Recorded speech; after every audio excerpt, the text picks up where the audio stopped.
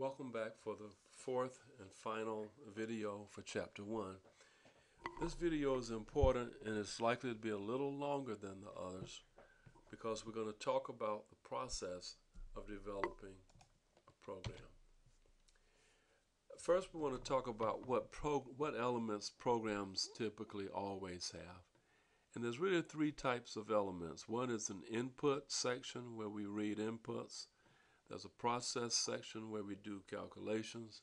Then there's an output section where you display the results. And we can see this very quickly in our old friend from the lab, add 3. Because we are reading inputs, we're doing a calculation, we're displaying the outputs.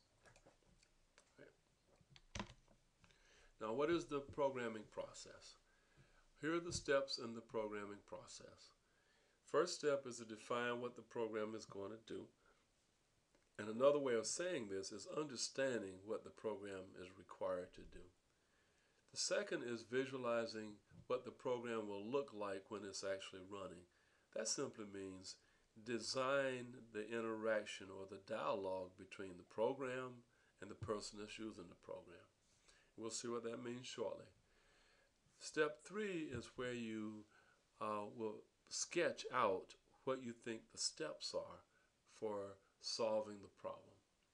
And there are devices for doing it, such as certain diagramming techniques or what we call pseudocode, which is just a, a, um, a simple set of steps that we use. After which we actually write the code in C++. Notice that by the time we get to step five, we should be totally clear about what the program is going to do. All right, so that writing the code will simply implement what we have produced in section three. As we write the code, we compile it. Uh, it is possible that the program will not compile because we have language errors in the code, such as syntax errors. Uh, once we get past um, syntax errors, the program can be compiled and linked to produce an executable file, which can then at step 9 be run. And then you can check to see that the outputs match what you expect the outputs to be. Need to go back a page.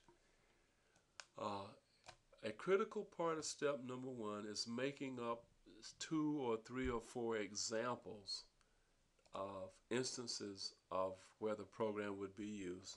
And for each example, use real data and go through the calculations that are required so you can say, if I'm given this real input data, this is exactly the output I would expect to see.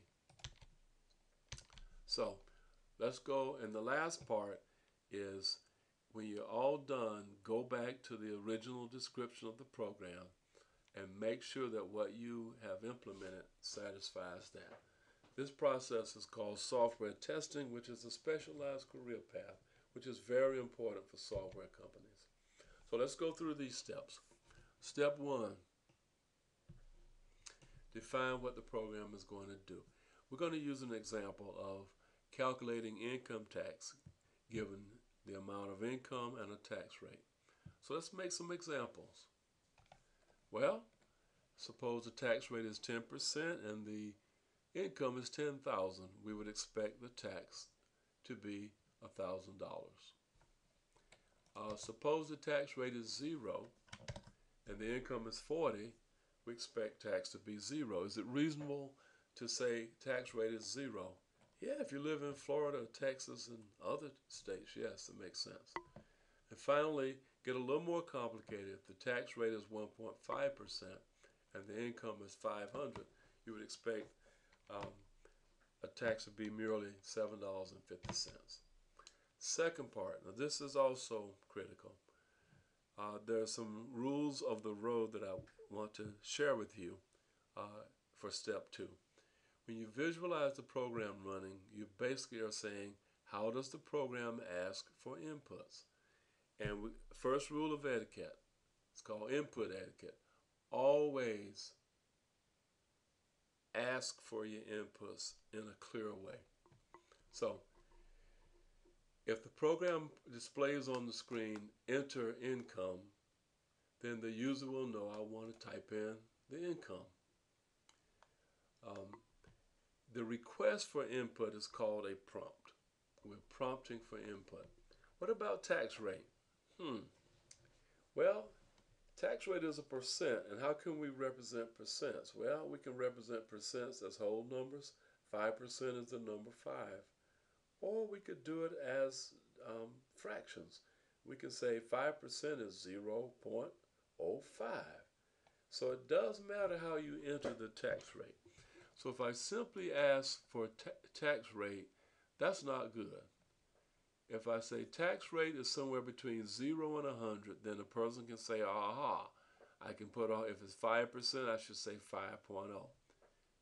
If, if we say this, they may have a feel feeling that the tax rate is between 0 and 1, so, so 50% would be 0.5. And what about the last one? This is actually best. Here you're saying if the rate is 5%, display it in fraction form. So you've helped the user. So there's lots of ways to ask for input. Some ways are better than others. Uh, there's a rule that you got to be aware of. It's called GIGO, garbage in, garbage out. If the person mistakenly enters the wrong tax rate, if you expected a fraction, 0.05, and they put in 5, what's the tax rate? It's 500%, not 5%. So uh, a good prompt will avoid, prevent garbage coming in. Second question, how does the program display its outputs? Etiquette is still required.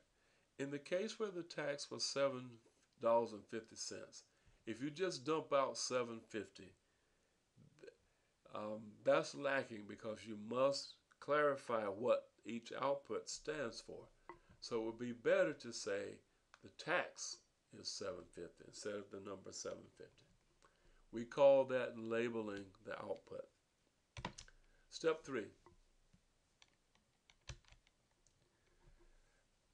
Use some tool or notation to create a model of the program. Okay, I've shown you a model. Earlier I said normally a program has inputs followed by processing followed by output. We call that the IPO model. But if that's the case, steps one and two represent I, input. Step three is processing. Step four is output. So we can informally say, I want to read a tax rate because it's an input, read income, calculate the tax using a formula, and display the amount of the tax. All right? Step number four says check the model for logical errors. What does that mean? Take the examples you did in step one and go through the steps of reading, of following these steps based on the inputs that you had for, for uh, step one, and you should produce the same result.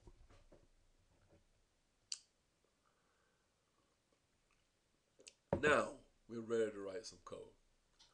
Now, notice a couple things. In our inputs, we kind of identify quantities that are inputs, like input and tax rate. What do we know about our program? Well, all inputs must go into variables. Therefore, we need a variable for income and we need a variable for tax rate. The output that we calculate, right here, tax, it needs to be stored also, so we need a variable for that. So when we start writing the program, we must identify variables for inputs and outputs. Um, I'm jumping the gun a little bit. First thing to note, and, and this should provide you some comfort, is that all programs start from the same origin. All programs start off like this. These are standard things that always have to be present in red. The, that, that's what I call the standard program shell. And it's a starter. And inside we can say, aha, there's a place where the declarations go. There's a place where reading the inputs go. There's a place where performing calculations go. There's a place where I display my outputs. So these are like placeholders to say, put your variables here, put your input here, put your calculations here, put your output statements there. All right. So when we talk about variables, variables serve different purposes and um, are used for different purposes. In the case of this problem, we're dealing with decimal numbers. So we need to be aware of the type of value, type of variable that we need. Variables like have different colors, uh, like different color marbles. We have variables that hold whole numbers. We have variables that hold strings. We have variables that hold single characters. We have variables that hold decimal numbers. And each one has a different type. So the type of variable, we would call it a decimal, but in C++ it's a float. And we need to be reminded of what how do you declare a variable? And you declare a variable by saying what its type is, followed by the name of the variable.